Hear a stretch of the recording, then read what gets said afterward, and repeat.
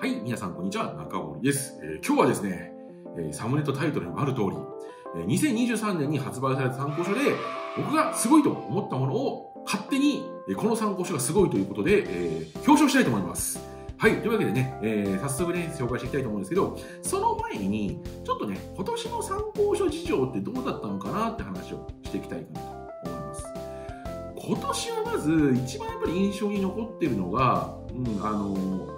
改訂版多かったですね。まあ、やっぱり新家庭に変わるからっていうのが大きいかなとは思うんだけど、でもね、あのー、結構その新家庭だからとかではなくて、ちょうどその改訂でいろいろ刷新されるタイミングで、そのあんまりなんていうか、その改訂しなくても別にそのまま使えるかなってものでも改訂されてたりするんで、かなりね、そこが、えー、特徴あったかなと思いますね。で、結構メジャーどころの参考書はね、いろいろ改訂が出てきているんで、まあ来年、春、2024年の春には結構いろいろ揃ってくるんじゃないかなってことで、まあね、あのー、新家庭の入試もね、参考書学習がね、えー、しっかり進められそうで、一安心という感じですね。で、もう一個は、英語の参考書多かったですね。うん、あのー本当に英語いろいろ出した。まあ、特にやっぱり関先生がすごく出されていた印象はあるんですけど、でも、ね、他の先生方もいろいろ参考書出されて、まあ、改訂版も含めるとかなり出て、やっぱり私自身紹介した参考書、英語多かったなっていうのはあります。うん。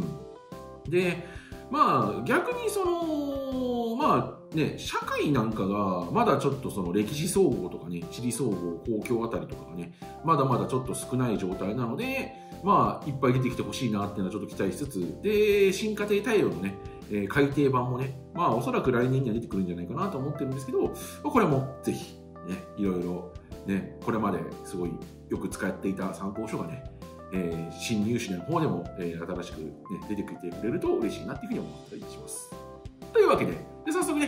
この参考書がすごい3つ紹介していきたいと思います。今回ね、英語2つと数学1つ。まあ、サムネイル見てるんでね、もうみんな分かってると思うんですけど、じゃあ早速1冊目紹介したいと思います。こちら、えー、関間様の The Essential 英語条文、えー、必修英文100ということで、まあ、これはね、もう出た瞬間、いや、よくこれ思いついたな、よくこんなん出してくれたなっていうのは思いましたね。うん。あの、いわゆる長文読解用の例文集ということですね。まあ、いわゆる例文集っていうのは、もう公文と英作文で見ることが多い本かなとは思うんですけど、長文のためのまあ英文集を出してくれてるというのが非常にね、え、特徴的かなと思いますね。実際指導の現場とか立ってて思うのが、その、英文解釈とかってやってんだけど、割とその本当に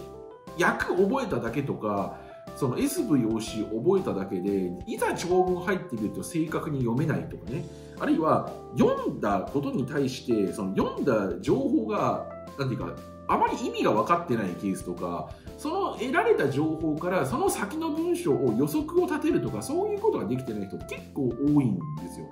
本当にその英語の長文を読み進めていく中で読み取れてる人とただただその訳してるだけで内容は全然押さえられてないみたいな人で結構やっぱどっかに差がついちゃう側面ってかなりあるんですよね。でもそれがこの、ね、エッセンシャルやっていくことでかなりねその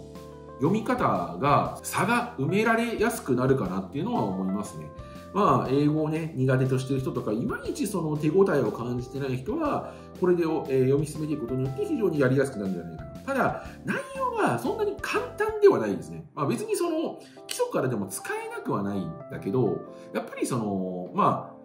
いわゆるマーチとか、まあ、カンカン同率、総計とか、まあね、国公立とかの、その、入試に向けてっていう感じですね。共通テストとかっていうよりは、やっぱりその本格的な二次一般の入試難易度に向けて、まあ、何週も長文とかやりつつ、こう、同時並行で進めていって、みたいな感じでやれるといいんじゃないかなと思います。まあ、英作文とかもね、結構その英検とか受けるなら私も入試対策だったらやっぱりその共通テストとかいわゆる日東コマセンとか参勤交流レベル終わった人が結構やっぱりやってるケースの方が多いかなと思うんでこれも立ち位置的にはその辺で使うといいんじゃないかなと思いますまあこれはね非常に、えー、面白い本だったなっていうふうに思いましたさすがですねはい。というわけで、こちら1冊目。では次、紹介していきたいと思います。はい。では続いて2冊目の紹介ですね。こちら、えー、引き続きまた英語になるんですけども、こちら、ここからつなげる、英語リスニングドリルということで、まあね、あの、ここから始めるっていうね、えー、ものとの続編という形で、まあ2冊ワンセットでやるようなものなんですけど、まあね、ここから始めるのも良かったんですけど、私は結構この、ここからつなげるの方が、いや、これはすごいいい本だなっていうふうに思いました。まあセットで使った方がいいと思うんですけどね。で、まあ、何が良かったかっていうと、あの、これリスニングの問題の部分が結構その、まあ共通テストだったりとか、まああと今後ね、おそらく出てくる可能性が高いいろんなそのリスニングの形式っていうのを簡単な問題で演習ができるっていう点が、まあ、非常に素晴らしいなっていうふうに思いました。うん、あのやっぱりそのリスニングの対策を皆さんやり始めるのって共通テスト対策とか、まあ、英検の対策で使い始めるケースっていうのが多いし、まあ、すごい塾の生徒なんだなんかだとリスニングに本格的に入るのは、まあ、あの英塾をターゲットの R とその速読英熟語あたりの、まあ、音読からね、え、やったりとか、まあ、あのソリューションあのの長文の方ですね。の音読とかから、まあ、本格的にスタートするケースが多いんですけどこれね本当にそのリスニングが苦手な人がその結構その初学者が学んでいくのにちょうどいいかなり優しめの難易度で、まあ、やってくれている問題集っていうのが非常に使いやすいなと。は思いますね。うん、あのリスニングはねどうしてもやっぱり後回しになってたりとかまあねやってる量が少ない人っていうのはとても多い、えー、分野ではあるのでそのリーディングとかと比べるとね。だから、それがそのね、いざじゃあリスニングやろうってなった時に、いきなりその過去問とか、まあ本番想定の難易度の問題集とかから入っている人が結構多い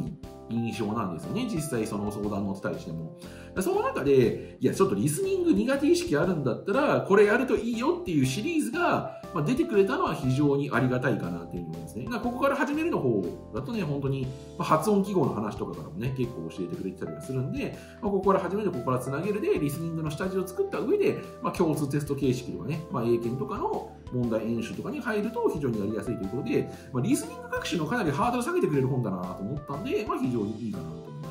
ま。あ、このここからつなげるシリーズはね、おそらく、まあ、あの今後の新課程の入試でいろんなシリーズ出てくると思うんで、まあね、いろいろ注目したいかなっていうふうには思っている、うん、あの参考書シリーズではありますね。はい。